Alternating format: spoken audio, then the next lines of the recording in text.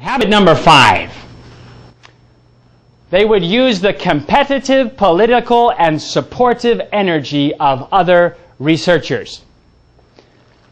Now, I mentioned again that my impression, my first impression of researchers was wrong.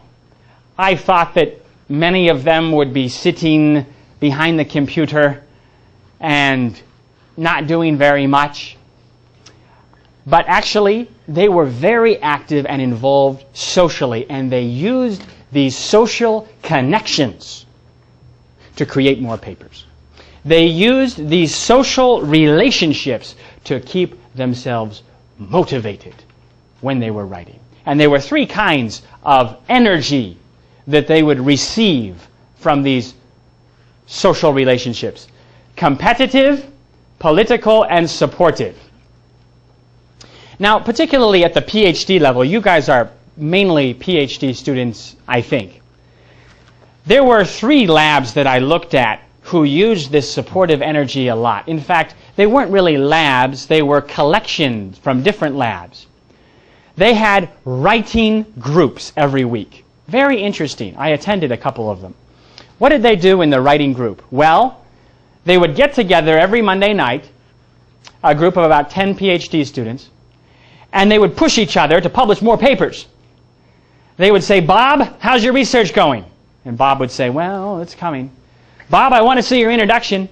Well, I didn't finish it this week. Bob, how can you not finish it this week? Bob, I'll send it to you tomorrow. and then let's talk to Lucy. Lucy, how are you doing? Oh, fine. Here's my abstract. What do you guys think? Hmm. Here we can change, and here we can modify, and this can be better the purpose of getting together in those writing groups was they were able to inspire and motivate each other. And they had to finish by next Monday night because everybody's waiting for them. Everybody's waiting to see their paper. Everybody's waiting to see the next step in their process. They gave each other deadlines. And the deadlines they gave each other were much more aggressive than their professor. Their professor would say, okay, this semester I need this finished.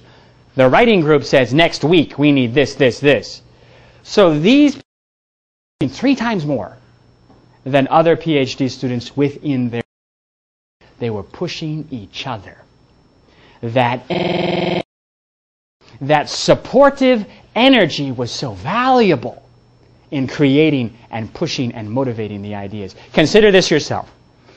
Consider how you could get a couple high functioning PhD students together in a writing group. When you put together that group and you start meeting regularly, that time will be very productive. The second kind of energy that they would get from each other was competitive. I found this particularly true uh, at the assistant professor level, assistant and associate professor, younger professors. There were often within one department two guys who published three times more than everybody else, four times more than everybody else. They published a lot. And when I talked to them, I found that these two guys were competing with each other. So if John gets an SCI paper, I want two SCI papers. And if Harry gets a high impact factor, I want a higher one. And the two laboratories would understand that this was a war. And the PhD students, oh, we got to beat Professor John, writing more papers. Oh, higher impact factor, we need a better journal. And there was like two teams of students who were fighting each other, competing against each other not in a bad way, but in a positive way. Competition makes you produce amazing things. It's remarkable what you do when you're under pressure from the guy down the hall. And so these two professors would make this kind of war between each other to make everybody produce a lot more research. And the third kind of energy was political. This was an interesting aspect of the relationships between professors. Professors and researchers, in all of the interviews that I talked to, understood the political nature of the review process. That when a reviewer receives your paper, he is not just a machine who will analyze good, bad, accept, reject. No, he's a person. And as a person, he has his own feeling and his own motivations that are involved in his review process.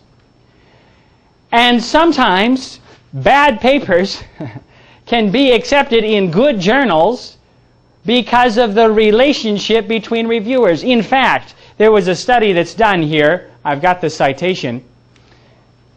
Half of the peer reviewed articles in the top rated journals were never referenced by anyone, including the author. How is that possible? How can half of the journal papers in the top journals be zero impact papers?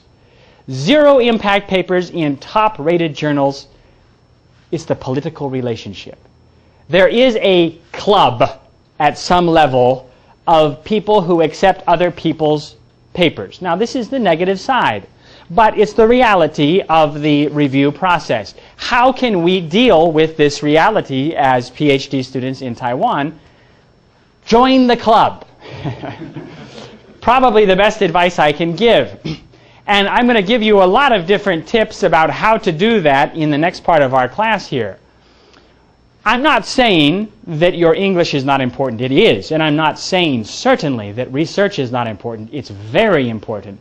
I just want us to understand that there is a third political element as well in the review process. And we need to understand this in order to be productive and effective researchers. Let's take a look at some of the ways that this happens. First, don't criticize your references. Who are your references? In the paper, you cite other authors, right? You put them in your introduction, in your literature review. These are called your references. Now, I read a lot of papers with this problem from my students. One of my students, he'll write a paper, he'll basically say, first page, uh, Johnson was stupid and Smith was an idiot, and I don't know what he was thinking. Okay, they're going to have this in. What happens when Johnson and Smith are your reviewers? Are they going to love you criticizing them? No. They're going to reject. The reason? Poor English. I suspect that this is a big reason for rejection. That some professors, some researchers, are old, they've been in their field a long time, and they don't want to see some new PhD student telling the whole world that they're stupid. Even if they think you're right, they have a high motivation to reject your paper and make sure nobody else knows about it.